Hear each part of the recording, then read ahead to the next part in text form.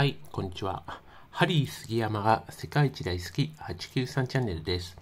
はい、あの、昨日ね、あの、FNS27 時間テレビ 100km サバイバルマラソンで、ハリー杉山さんが優勝したってことで話題になってますね。はい。で、今日はね、この感動をあの視聴者の皆さんに共有したいと思います。はい。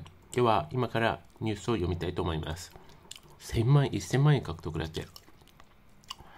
えー千鳥大悟ノブかまいたちダイアンの3組が総合司会を務めるフジテレビ系超大型特番 FNS27 時間テレビが22日午後6時半よりスタート。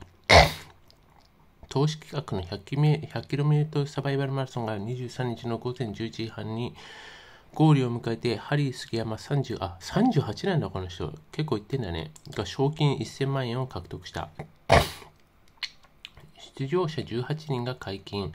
100km の道のりを必要以上に休憩を取らずに走った場合一体いつゴールできるのかを検証すべき。一斉に 100km マラソンに挑戦した。まあランナーに関してはまあその出場者はあのノッチ、太田、井上咲楽、池谷直樹、大倉志門、畑陽区、まあ、あとは安田大サーカスとかで、あとはコムドットのヤマトとユータも出たんですけど、まあ、この2人はね、なんか脱落したらしいですね。はい。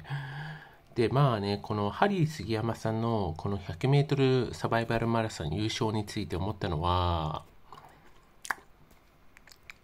まあ、素直にすごいなって思いましたね。はい。まあ、俺はね、このハリー杉山さんっていう外人の方については全く知らないんですけど、まあ、38歳でこの優勝っていうのはすごくないですか？リアルにこんな高齢で優勝ってすごくない？だって他にさ、なんだっけ、あの、まあ、井上咲楽とか、あの、あの、なんだっけ、大倉志門だっけ、あの、みちょぱの彼氏？と、あと、かあなんだっけ、コムドットのヤマトとユータも出たんですけど、この2人最悪なんですよ。この2人、あの、若いくせに途中でリタイアしてんですよ。はい。根性ねえよって思いましたね。はい。まあ、その中を、まあ、優勝したね、あの、ハリー・ポッターさんはすごいなって思いましたね。はい。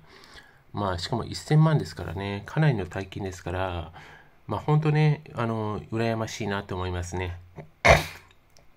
てか、ハリー杉山、ハリー・ポッターだけ、まあ、ハリー杉山根性あるから、コムドットよ、見習えよって思いましたね。はい。